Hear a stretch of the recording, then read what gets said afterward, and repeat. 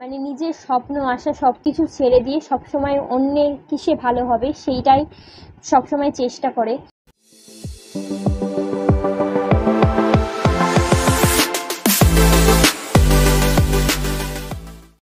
Welcome back to my YouTube channel তো আশা করি সবাই খুব ভালো আছো, আমিও ভালো আছি।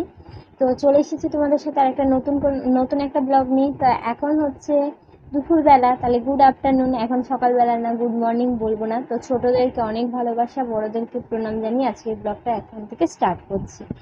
তো আজকে তোমাদেরকে আমি যে কথাগুলো বলতে এসেছি, তোমাদেরকে একটা আমার মা কেমন আছে সেটা বলি আগে, তারপরে তোমাদেরকে আরেকটা কথা বলছি।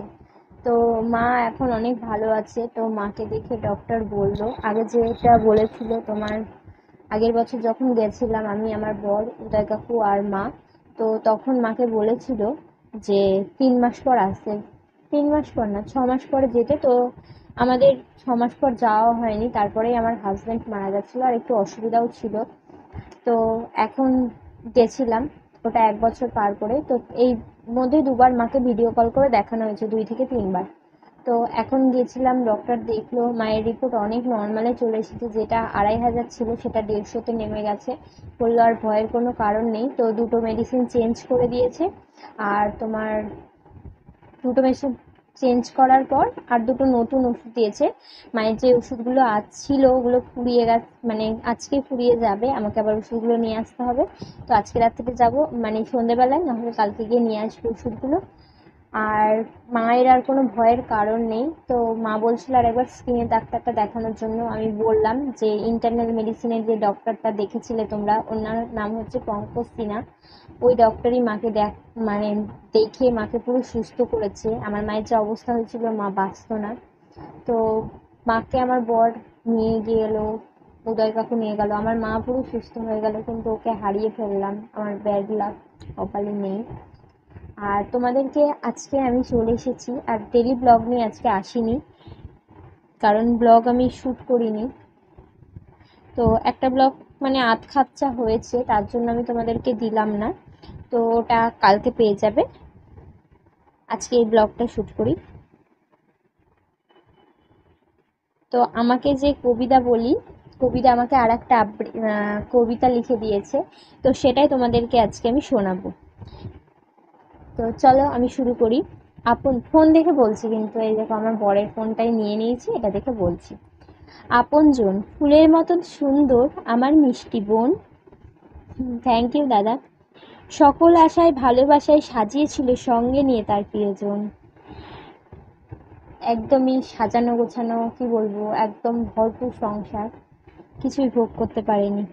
এক ঝড় এসে ভেঙে দিল সকল আশার ভালোবাসার স্বপ্নের বাধা ঘর স্বপ্নের ঘরটা একদম ভেঙে মানে ছাড়খাড় করে দিয়েছে। যেন তাসের ঘরটা ভেঙে গেল, যত আপনজন ছিল হলো আজকে তারপর অনেক আপনজন আমার পর হয়ে গেছে, সেটা তোমরা অবশ্যই জানো। আর আমি আর বলতে চাইছি না। পথ হারানো পথিক হয়ে চলছে যে বোন, জীবন নদীর বাঁকে।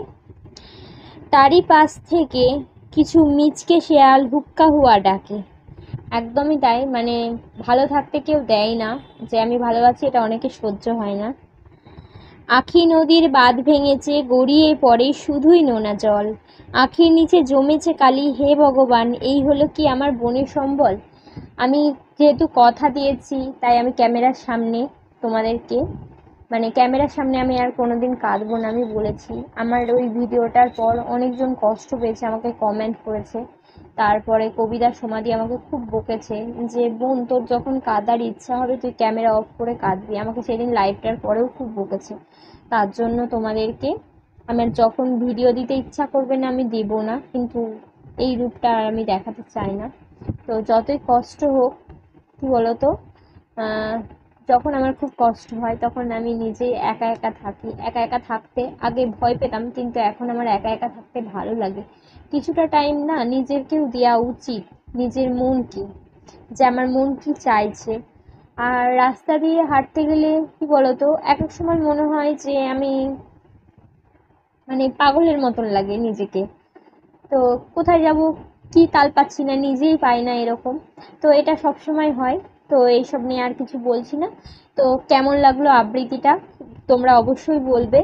তো আমার আর সমাধির ইচ্ছা আছে কবিতার এই বইগুলো মানে খুব সুন্দর আবৃত্তি লেখে দাদা। আর দাদার কলকাতায় বাড়ি, রাজারহাট, নিউ টাউনে তো আমাকে এই দুটো আবৃত্তি লিখে পাঠিয়েছে। আর একটা লিখেছে দাদা নিজে দুর্গা। ওটা তোমাদেরকে আমি পরে অন্যদিন শোনাবো। খুব ভালো আবৃত্তি লেখে দাদার বই ছাপানো হয়েছিল, কিন্তু কপিরাইট হয়ে গেছে।